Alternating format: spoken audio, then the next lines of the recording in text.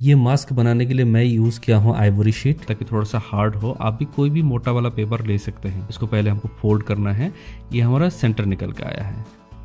अब हम ले लेंगे इसका मेज़रमेंट इसी तरह से मैंने अपने फेस के लिए मेज़रमेंट ले लिया है। आप भी इसी तरह आपके फेस के लिए मेज़रमेंट ले सकते हैं। पहले एक अंडा शेप कर लेते हैं।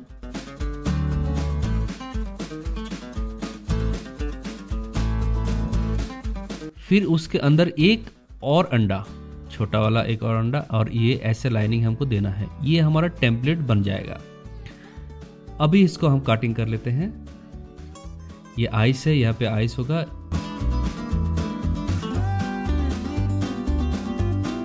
यहाँ तक होगी हमारी नोज़ या स्ट्रेट काटना है। और ये जो है, इसको हमको कर्व करके काटना है। आइस निकाल लेते हैं। दूसरी आई भी हमको लेना है तो उसको फ्लिप करके लेंगे। यहाँ पे हमको कटिंग एक करने हैं।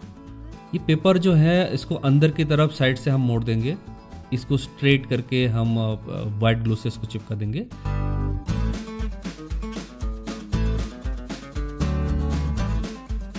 सारे जहाँ पे कट था, वहाँ पे हमने चिपका दिया और ये भी हमने चिपका दिया। ये हमारा बन गया है। अभी हम आइस के लिए टेम्पलेट बना लेंगे। मेज़रमेंट ऐसे ले लीजिए, इतना से लेने से हो जाएगा। अप्रोक्सीमेट है ये, और ये हमारा एरिया निकल के आया। इसको काट लेते हैं। अब ड्राइंग करिए। ड्राइंग सावधानी से करिए। ऐसे ड्राइंग करेंगे तो एकदम फिट बैठेगा।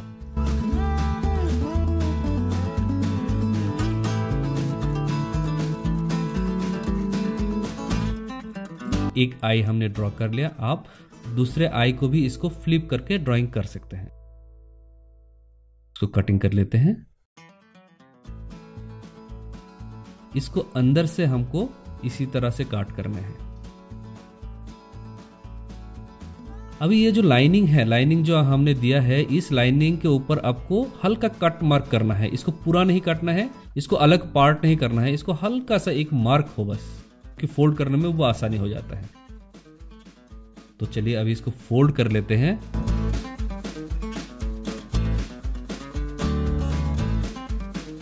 इसी तरह आप हाथ से प्रेशर देके इसको डायमेंशन निकाल लीजिए। अभी इसमें हम व्हाइट ग्लू लगा के चिपका देंगे। ध्यान रही ये थोड़ा सा डायमेंशन में रहे।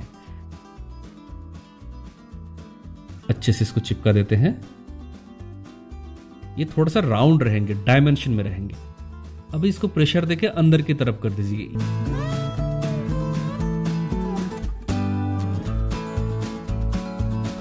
एक एक करके चिपकाइए।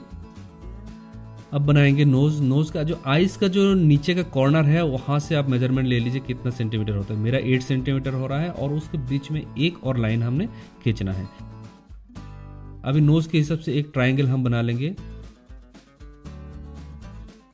अभी थोड़ा सा इसमें हमको काटना है। काटना इसलिए है ताकि हम इसको अंदर की तरफ़ लेके व्हाइट ग्लू से पेस्ट कर देंगे। पूरा नहीं काटेंगे तो अंदर की तरफ़ हमको पेस्ट करना है। लाइनिंग कर लेते हैं। और ये डायमेंशन आ गया। मेज़रमेंट ले लेते हैं। अभी इसको हम व्हाइट ग्लू से चिपकाएँगे। यहाँ पर भी एक सेंटर में काट करेंगे नीचे की तरफ़। ऐसे चिपकाना है। चिपकाने के टाइम में अच्छे से चिपकाएगा ताकि सेंटर में रहे। और जो एक्स्ट्रा एरिया है, हम उसको काट देंगे।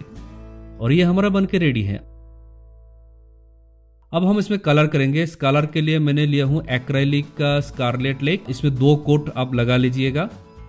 अब आइस के लिए हम करेंगे ब्लैक कलर पर। ब्लैक को डायरेक्ट नहीं लगा के फाइव परसेंट इसमें व्हाइट मिक्स करके करेंगे, ताकि इसमें ज़्यादा शाइनिंग ना करे। ये हमारा बन के रेडी है।